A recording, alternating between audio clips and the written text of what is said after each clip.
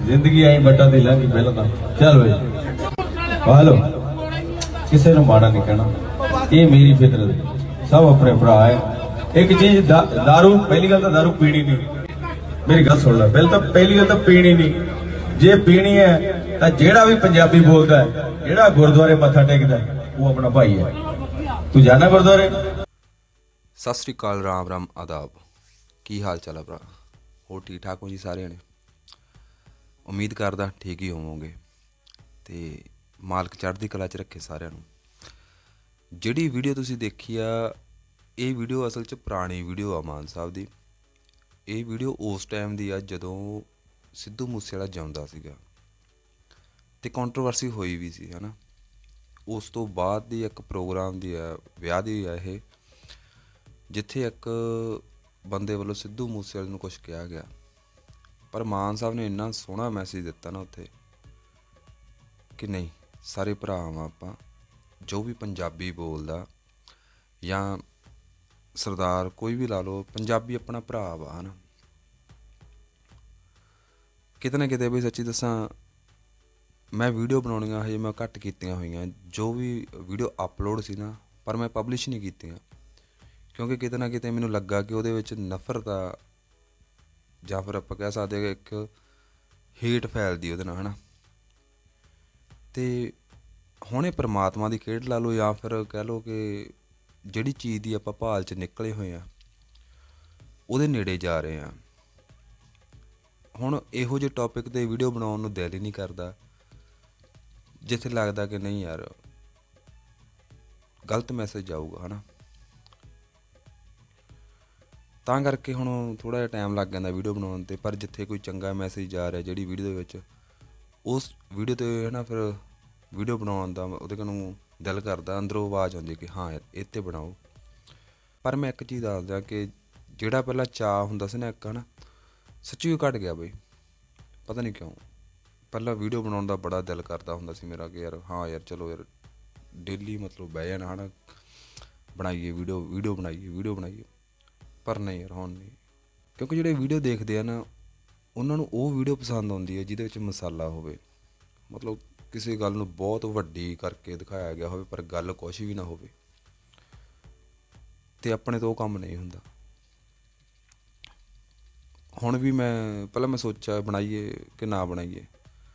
ਫਿਰ ਮੈਂ ਕਿਹਾ ਚਲੋ, ਨਹੀਂ ਚੰਗਾ ਮੈਸੇਜ ਆਂਦਾ, ਬਣਾਵਾਂਗੇ। ਦੇਖੋ ਮਾਨ ਸਾਹਿਬ ਨੇ ਹਮੇਸ਼ਾ ਪਿਆਰ ਦੀ ਗੱਲ ਕੀਤੀ ਆ। ਠੀਕ ਹੈ। ਮੈਂ ਇੱਕ ਗੱਲ, ਮੈਂ ਅੱਜ ਵੀ ਇੱਕ ਭਰਾ ਨਾਲ ਗੱਲ ਹੋ ਰਹੀ ਸੀ ਮੇਰੀ। ਉਹ ਮੈਨੂੰ ਪੁੱਛਣ ਲੱਗ ਗਿਆ ਕਿ ਯਾਰ ਜਿਹੜਾ ਸਿੱਧੂ ਮੂਸੇਵਾਲਾ ਤੇ ਬੱਬੂ ਮਾਨ ਦੇ ਹਨਾ ਕੰਟਰੋਵਰਸੀ ਸੀ, ਉਹਦਾ ਮਤਲਬ ਜੇ ਦੇਖਿਆ ਜਾਵੇ ਕਿ ਮੇਨ ਕਾਰਨ ਕੀ ਸੀ ਹਨਾ। ਫਿਰ ਉਹਨੂੰ ਮੈਂ ਨਾ ਇੱਕ ਆਨਸਰ ਕੀਤਾ ਕਿ ਬਈ ਯਾਰ ਜਿਵੇਂ ਮੰਨ ਲਓ ਕੋਈ ਖੇਡ ਦਾ ਮੈਦਾਨ ਹੁੰਦਾ ਨਾ, ਉਹ ਖੇਡ ਦੇਖਣ ਦਾ ਉਹਦੇ ਸਵਾਦ ਆਉਂਦਾ। ਜਿਵੇਂ ਇੱਕ ਕਬੱਡੀ ਲਾ ਲਓ, ਕੋਈ ਵੀ ਖੇਡ ਲਾ ਲਓ ਭਲਵਾਨੀ ਲਾ ਲਓ, ਹਨਾ?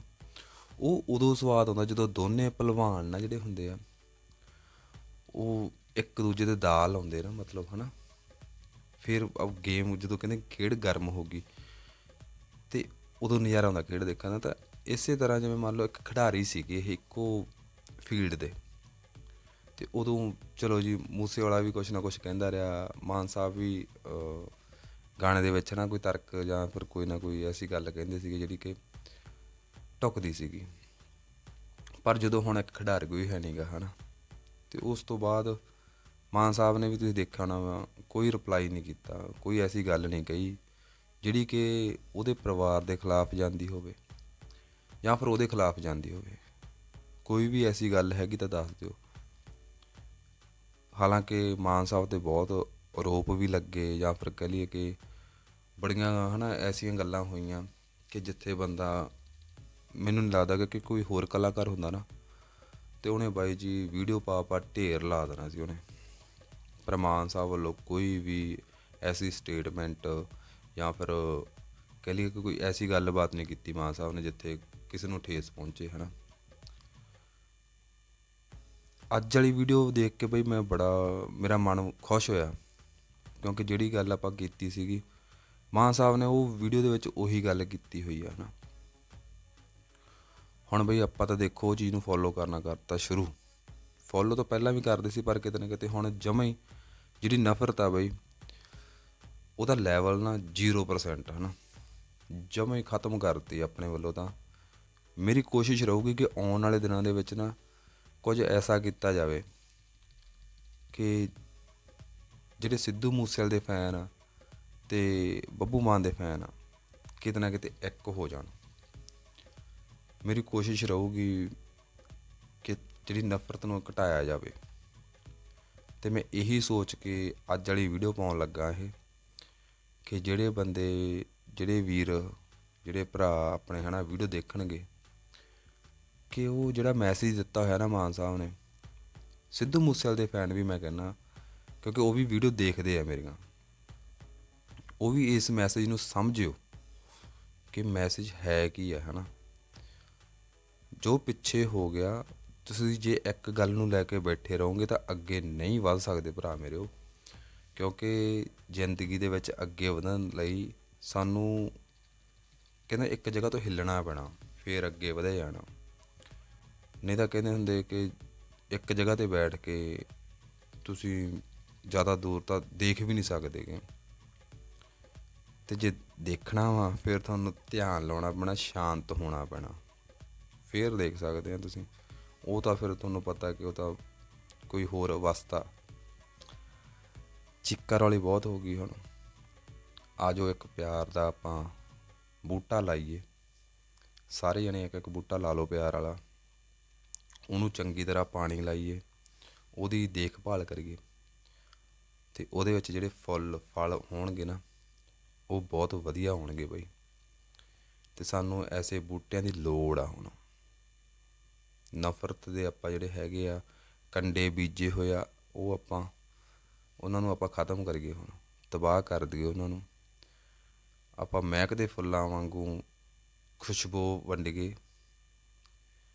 ਨਹੀਂ ਤਾਂ ਅਸੀਂ ਆਪਸ ਦੇ ਵਿੱਚ ਲੜ ਲੜ ਮਰ ਜਾਣਾ ਬਈ ਸਾਡਾ ਕੁਝ ਵੀ ਨਹੀਂ ਬਣਨਾ। ਤੇ ਫਾਇਦਾ ਕਿਸੇ ਤੀਜੇ ਨੇ ਚੱਕ ਲੈਣਾ ਵਾ।